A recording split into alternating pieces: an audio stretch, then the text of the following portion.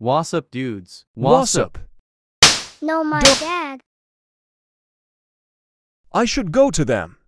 Wait, was that large died or someone else? It's someone else. I should hide.